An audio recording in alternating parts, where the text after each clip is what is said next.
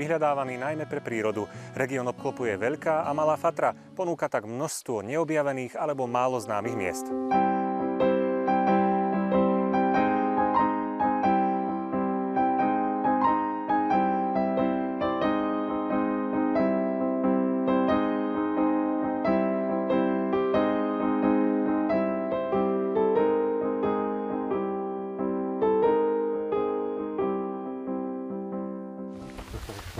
Počuli ste už o teplických serpentínach? Ide o dômyselnú sústavu vodných kanálikov a jazierok, ktoré sa ukrývajú v lesoch v Turčianskej štiavničke.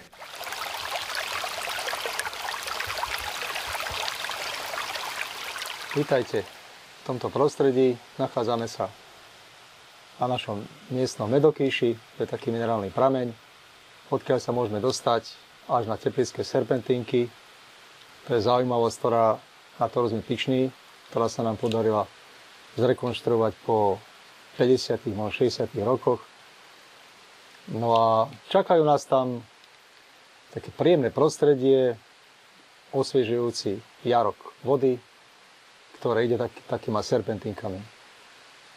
Vybudoval to grof Revaj, kedysi v roku 1875 po desiatich minútach ľahkej chôdze prichádzame na začiatok, teda vlastne na koniec teplických serpentín.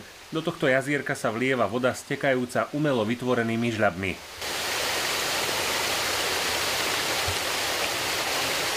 To je spodný rybník, tzv. Margitin rybník. A to je vlastne začiatok tej vodnej sústavy teplických serpentín.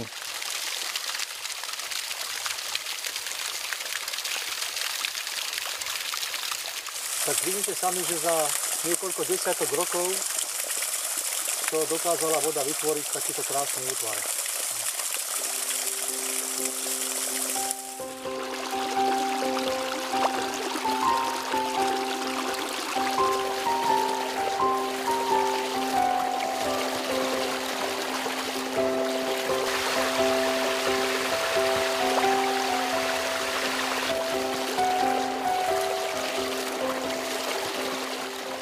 Nachádzame sa pri druhom jazerku, tu už sme na, na Teplici a ako vidíte sami, tak tu už sú pekné kusy rýb, sú to amure, ktoré sa starajú o to, aby tie rastliny neprerastali tú hladinu vodnú, aby to požierali, vlastne aby tá hladina bola stále čistá.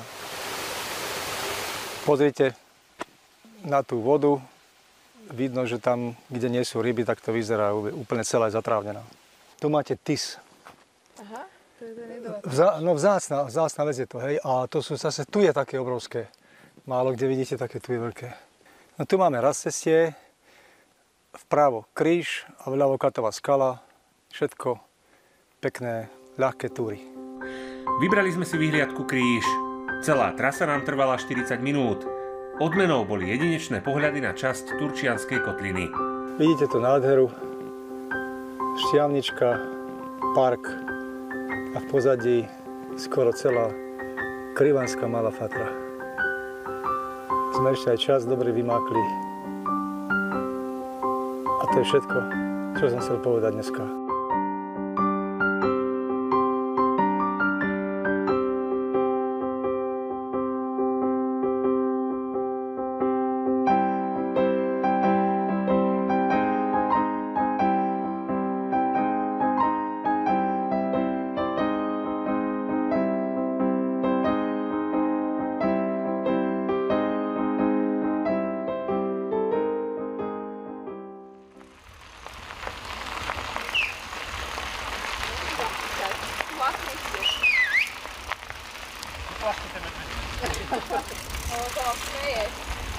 Pokračujeme v Belianskej doline, ktorú si vychutnávame zo sedla elektrobicykla.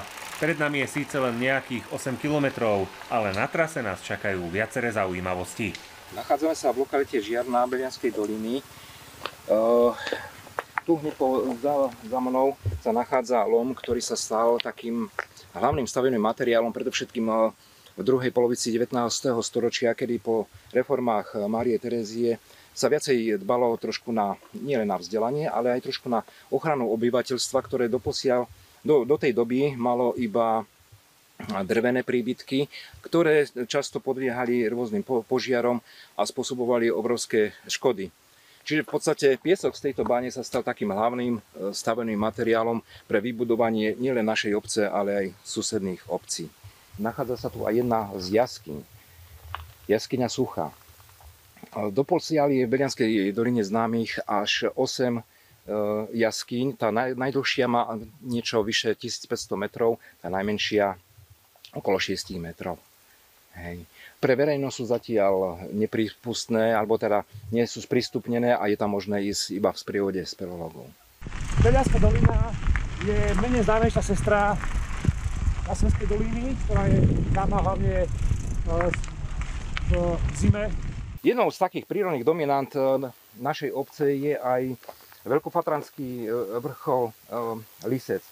Hoď má najväčšiu výšku, má iba 1381 metrov nad morom a výstup daň je pomerne aj dosť náročný fyzicky, ale pokiaľ sa tam vypravíte, dostavíte, rozprestrie sa vám snáď najkrajšia scenéria nad Turcom, akú môžete z týchto našich patranských končiarov vidieť.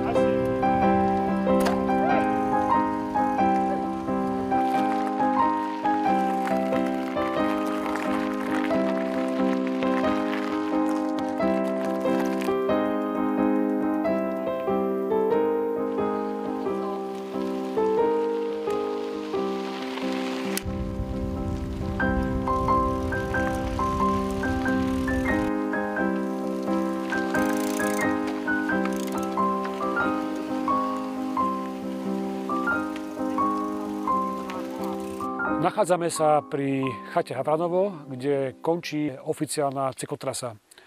Od chaty Havranovo smerom k vodopádu je to zhruba 15 minút pešou chôdzou, alebo môžeme pokračovať smerom na, na Borišov, kde nás čaká tak 2-2,5 hodinová túra. Bicykle, ktoré máme so sebou, si nehávame e, odstavené v chate alebo pri chate Havranovo, kde nám ich e, milý personál určite raz postráži. Na chate určite nekončíme, lebo v nedalekom lese sa ukrýva vodopád, ktorý poznajú len skalní turisti. Našli sme ho síce vďaka chatárovi, ale dovedie vás k nemu aj značený chodník. Po nejakej 10-15 minútovej chôdzi z chaty Havranova sme sa dostali e, k vodopádu Došna, e, ktorý vlastne vyteká z, z Došnej dolinky, e, ktorá vlastne na závere tej doliny tvorí hrebeň na druhej strane ktorej sa nachádza Lubochňanská dolina, najdlhšia na Slovensku.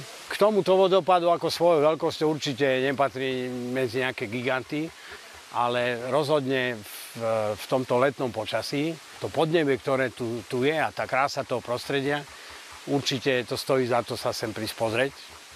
A myslím si, že každý, ktorý sem príde, tak to prostredie a to okolie mu padne do oka.